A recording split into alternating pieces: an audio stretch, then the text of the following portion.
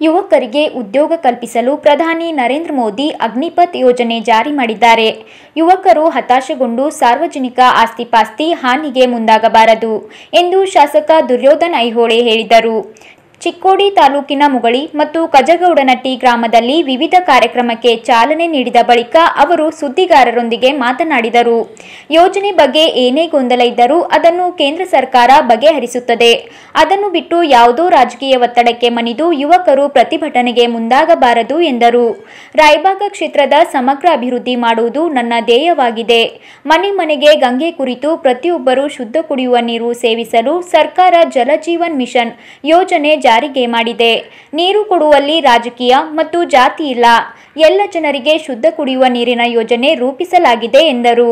ವಡ್ರಾಳ ಗ್ರಾಮ ಪಂಚಾಯಿತಿ ವ್ಯಾಪ್ತಿಯ ಕಜಗೌಡನಟ್ಟಿ ಗ್ರಾಮದಲ್ಲಿ ತೊಂಬತ್ತು ಲಕ್ಷ ರೂಪಾಯಿ ವೆಚ್ಚದಲ್ಲಿ ಜೆಜೆಎಂ ಕಾಮಗಾರಿಗೆ ಅನುದಾನ ಮಂಜೂರಾಗಿದೆ. ಕರೋಶಿ ಮುಗಳಿ ರಸ್ತೆ ಅಭಿವೃದ್ಧಿಗೆ ಎಂಬತ್ತು ಲಕ್ಷ ರೂಪಾಯಿ ಮಂಜೂರಾಗಿದೆ ಎಂದರು. ಮನೆ ಮನೆಗೆ ಗಂಗೆ, ಮನೆ ಮನೆಗೆ ಚಾವೆ, ನೀರಿನ ಚಾವೆ ಕೊಡುವಂತ ಪ್ರಧಾನಮಂತ್ರಿ ನರೇಂದ್ರ ಮೋದಿಜಿಯವರ ಒಂದು ಕನಸು. ಇವತ್ತು ತೊಂಬತ್ತ ಲಕ್ಷ ರೂಪಾಯಿ ಅನುದಾನದೊಳಗೆ ಭೂಮಿ ಪೂಜಾ ಕಾರ್ಯಕ್ರಮ. ಈ ಕಾರ್ಯಕ್ರಮದಲ್ಲಿ ಈ ಭಾಗದ ಕೂಡ ಮುಗುಳಿ ಕರುಷಿ ಎಂಬತ್ತು ಲಕ್ಷ ರೂಪಾಯಿ ಅನುದಾನದೊಳಗೆ ಜಿಲ್ಲಾ ಪಂಚಾಯತ್ ಇಲಾಖೆ ವತಿಯಲ್ಲಿ ಭೂಮಿ ಪೂಜೆಯನ್ನು ನೆರವೇರಿಸಿ, ಈಗ ಕಜಗುನ ಕಜಗುನಟ್ಟಿ ಗ್ರಾಮದಲ್ಲಿ ಈಗ ತೊಂಬತ್ತು ಲಕ್ಷ ರೂಪಾಯಿದ ಜಲಜೀವನ ಮಿಷನದ ಭೂಮಿ ಪೂಜಾ ಕಾರ್ಯಕ್ರಮ ಮನೆ ಮನೆಗೆ ಗಂಗೆ, ಅದಕ್ಕೆ ತಾವು ಎಲ್ಲರೂ ಸಹಕಾರ ಕೊಟ್ಟ ಗ್ರಾಮ ಪಂಚಾಯತಿ ಅಧ್ಯಕ್ಷರು, ಉಪಾಧ್ಯಕ್ಷರು, ಸರ್ವ ಸದಸ್ಯರು ಎಲ್ಲರೂ ಸಹಕಾರ ಕೊಟ್ಟ ಇದರೊಳಗೆ ಏನು ರಾಜಕೀಯ ಇಲ್ಲ. ಜಾತಿ, ಪಂಗಡ, ಯಾವುದು ಪಕ್ಷ ಪಂಗಡ ಏನೂ ಇಲ್ಲ. ತಾವೆಲ್ಲ ಪ್ರತಿಯೊಂದು ಮನೆಗೆ, ಯಾವುದು ಮನೆ ಉಳಿಲ್ದಂಗ ಎಲ್ಲರಿಗೂ ಕೂಡ ಈ ಶುದ್ಧ ನೀರನ್ನ ಕೊಡುವಂತ ವ್ಯವಸ್ಥೆ ಮಾಡಬೇಕು. ಮುಂದಿನ ಜಿಲ್ಲಾ ಪಂಚಾಯತ್ ಕುಡಿ ನೀರಿನ ಇಲಾಖೆ ಇಂಜಿನಿಯರ್ ಯಾವುದರ ಬಿಟ್ಟಿದ್ರು ಕೂಡ ಅವ್ರ ಗಮನಕ್ಕ, ನನ್ನ ಗಮನಕ್ಕ ತಾವು ಗ್ರಾಮ ಪಂಚಾಯತ್ ಸದಸ್ಯರು ತಗೊಂಡ್ ಬಂದ ಎಲ್ಲರಿಗೂ ಕೊಡ್ಬೇಕು. ಇದ್ರಾಗ ಏನ್ ರಾಜಕೀಯ ಮಾಡುವಂಗಿಲ್ಲ, ಜಾತಿ ಮಾಡುವಂಗಿಲ್ಲ, ಇದು ನರೇಂದ್ರ ಮೋದಿಜಿ ಅವ್ರದ್ದು ಒಂದು ಕನಸೈತಿ.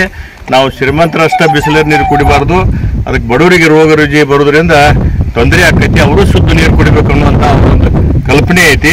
ಮೋದಿಜಿ ಅವ್ರದ್ದು ಏನೈತಿ, ಶಾ ಅವ್ರದ್ದಾಗಲಿ ಒಂದು, ಎಲ್ಲರಿಗೂ ಕೂಡ ಈ ಸೈನಿಕರದ ಒಂದು ಕಲ್ಪನೆ ಬರಬೇಕು, ಎಲ್ಲರೂ ಅದ್ರಾಗ ಭಾಗವಹಿಸಲಿ ಅನ್ನುವಂಥ ಅದೊಂದು ಇಚ್ಛೆ ಐತಿ ಮತ್ತು ಈಗ ಅವರು ಕೂಡ ನಾಲ್ಕು ವರ್ಷ ಅದನ್ನ ಅಲ್ಲಿ ಸೇವೆ ಸಲ್ಲಿಸಿದ್ರು. ಅಂದ್ರೆ ಅವ್ರಿಗೆ ಒಂದು ದೇಶದ ಒಂದು ಭಕ್ತಿ ಹೆಚ್ಚಾಕತಿ, ಅಭಿಮಾನ ಹೆಚ್ಚಾಕತಿ, ಪ್ರೀತಿ ಹೆಚ್ಚಾಕತಿ. ಮುಂದೆ ಅವ್ರಿಗೆ ಮತ್ತೆ ಇದನ್ನು ಪೆನ್ಷನು ಬರ್ತೈತಿ.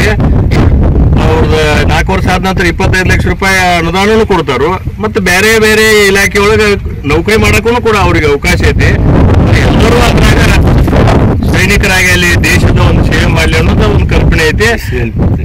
ಇಸ್ರೇಲ್ ಪದ್ಧತಿ. ಆದ್ರೆ ಈಗ ರಾಜಕೀಯ ಬೇರೆ ಅದನ್ನ ಗದ್ದಲ ಮಾಡಕತ್ತಾರು. ಅದಕ್ಕೆ ಗದ್ದಲ ಮಾಡಬಾರ್ದು ಎಲ್ಲರೂ ಶಾಂತ ರೀತಿಯಿಂದ ತಮ್ಮ ಏನೇ ಬೇಡಿಕೆ ಇದ್ರು ಹೋರಾಟ ಮಾಡಲಿ. ಈ ಸರ್ಕಾರದ ಒಂದು ವಾಹನಗಳಾಗಲಿ ಕಟ್ಟಡಗಳಾಗಲಿ ಹಾನಿ ಮಾಡೋದ್ರಿಂದ ಏನು ಲಾಭ ಆಗೋದಿಲ್ಲ ತಾವು ಏನೇ ಸಮಸ್ಯೆ ಇದ್ರು ಸರ್ಕಾರ ಕೂಡ ಕೂತು ಚರ್ಚೆ ಮಾಡ್ಕೊಂಡು ತಮ್ಮ ಏನೇ ಸಮಸ್ಯೆ ಇದ್ರೂ ಪರಿಹರಿಸ್ಕೋಬೇಕು.